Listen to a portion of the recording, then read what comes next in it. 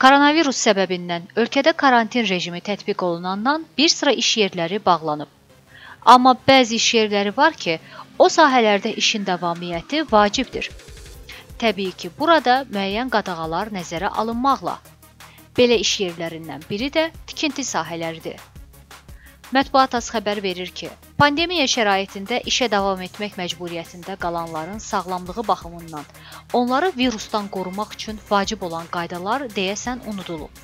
Müşahidə apardığımız tikinti sahələrində çalışan fəhlələrə nəinki virusdan qorunmaq üçün maska, Hətta tikintinin toz torpağından qorunmaq üçün respirator belə verilməyib. Məsələ ilə bağlı Əmlak Məsələləri üzrə ekspert Elnur Fərzəliyev mətbuatası müsahibəsində bildirdi ki, koronavirus pandemiyası bir çox ölkələrlə bərabər bizim ölkəmizdə də yayıldığı gündən ölkə iqtisadiyyatı ilə bərabər daşınmaz əmlak sahəsində də çox ciddi şəkildə öz mənfi təsirini göstərib böyük biznes və iş mərkəzləri bağlansa da, şahidi oluruq ki, bəzi çoxmənzilli binaların inşası hələ də davam edir.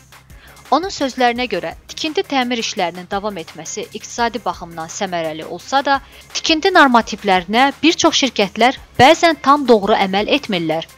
Bu cür ehtiyatsızlıqsa tikinti qəzaları ilə bərabər gündəmdə olan koronavirusun da geniş yayılmasına gətirib çıxara bilər. Tikinti sahəsində açıq havada çalışan və insanlarla daimi təmasda olan hər bir işçi xüsusi qoruyucu geyim və maskalarla daimi təmin olunmalıdır.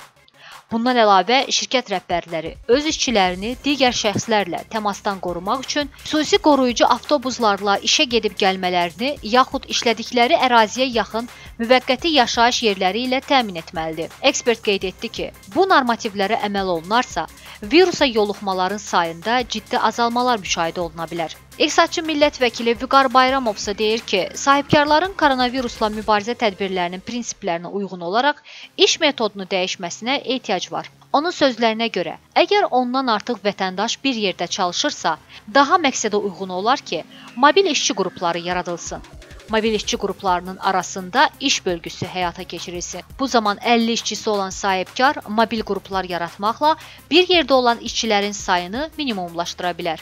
Gülbən Hüseynli, Mətbuat Az.